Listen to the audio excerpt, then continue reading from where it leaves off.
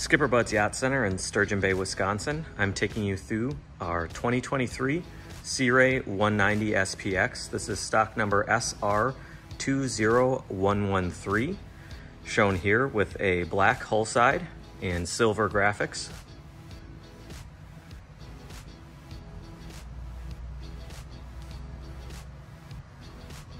This boat comes with the optional tandem axle trailer with mag wheels does have, as you can see here, breakaway tongue on the trailer to save for storage space. Nice stainless steel rub rail.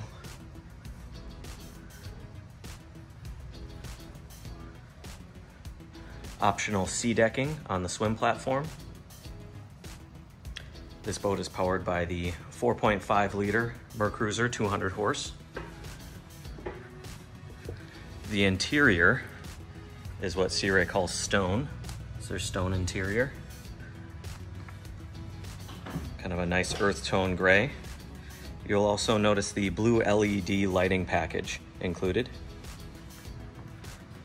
As we step through the walk-through transom, we walk up to the Simrad display. You can see no analog gauges, so they've gone with a very clean look here.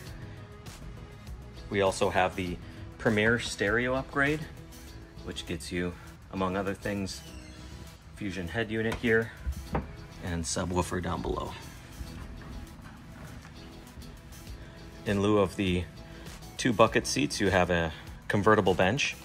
So this can flip forward to have some footrest room for the uh, passenger side, the port side to be looking forward.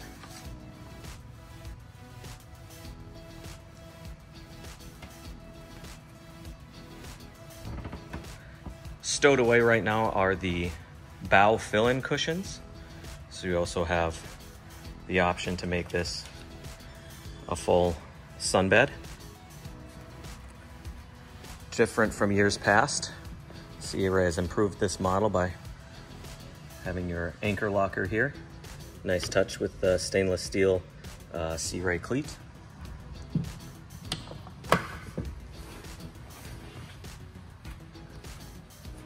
Center locker storage as well. Flip up bolster on the helm seat.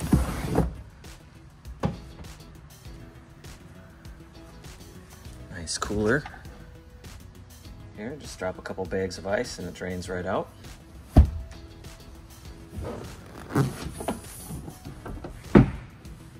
There's your 4.5 liter Mercruiser. And alongside, you'll find one other cooler in the pass through here and a battery switch just under there if you can see it. Some more attention to detail you'll find with Sea Ray. You can see this is A and B side finished. So finished fiberglass with gas assist strut. So you have this strut that's gonna help you open the uh, compartment and nice stainless steel hardware instead of plastic that tends to break. This boat's here in Sturgeon Bay, Wisconsin. Give us a call to schedule your showing today.